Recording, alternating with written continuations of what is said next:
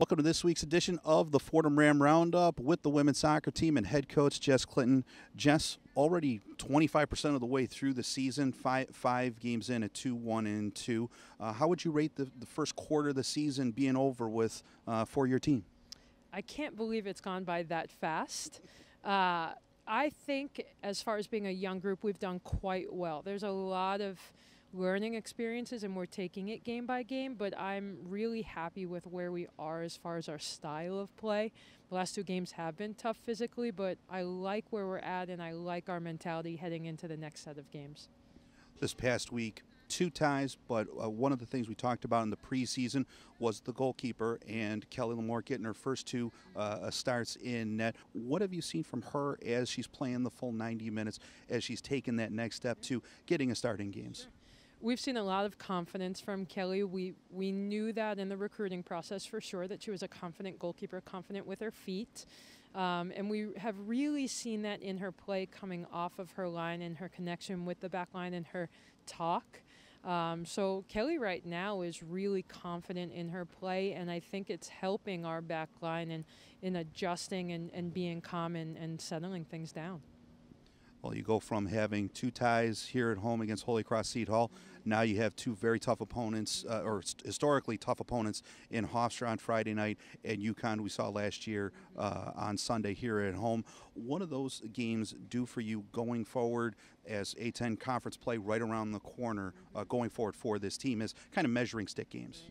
I think when we look at Hofstra and we look at UConn, Hofstra is a very physical team. They do play, so they are becoming a combination of things that we've seen in the past. Um, Hofstra is a very good soccer playing team that looks to rush forward really quickly. UConn, they just run right through you.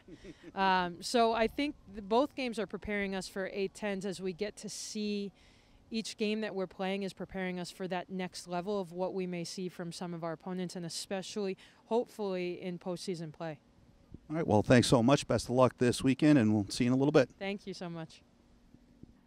We continue our Ram Roundup with our player interview with sophomore Amanda Miller. Amanda, you got you've come out kind of pistols blazing in your second year here at Fordham. Two goals in your first five games here, really causing a lot of havoc up front, along with Kriya and Lane. How how have you seen your game change a little bit from year one into year two this year? That you've had a lot of success and causing a lot of scoring chances for your team this year.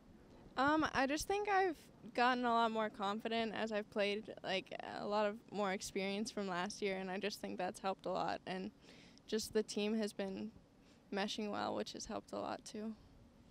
Team is already 25% of the way through your season already. You're coming up on game six and seven. How would you uh, look at the two one and two record? You know, two ties last weekend. Where the team is at as you head into those last couple of non-conference games before conference play starts in a couple weeks. Um, I think we've been playing really well. I just think we got unlucky the past weekend. Like we're getting so close to goal, we just need to capitalize. But it's definitely there, and I think A10s were looking good for. And this weekend, your two games against two very quality opponents. Uh, you're at Hofstra on Friday, and then UConn here at home uh, on Sunday afternoon.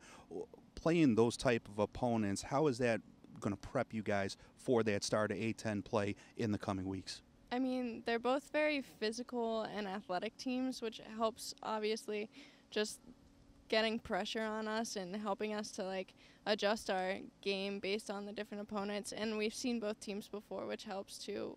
And I think that it'll just make us better all around playing wise. All right. Well, good luck this weekend and uh, best luck the rest of the way. Thank you. That'll do it for this week's edition of the Fordham Ram Roundup with the women's soccer team. Thanks to Jess Clinton and Amanda Miller for joining us. Fordham women's soccer in action twice this weekend as they'll be at Hofstra 7 o'clock on Friday night, and then they'll host UConn here at Jack Coffey Field on Sunday at 1 p.m. Both those games will be web streamed. Make sure to check FordhamSports.com for links. For those home games, for those who've had a few issues with the web stream, make sure you have the most up to date Adobe Flash Player. It's a free download to make sure that you can watch the Fordham soccer action on your computer. The A10 app will not work for uh, the women's soccer games. So make sure you have the most up to date version of the Adobe Flash Player uh, when watching the women's soccer game on Sunday. For the Fordham Ram Roundup, I'm Scott Kwiatkowski. We'll see you next time.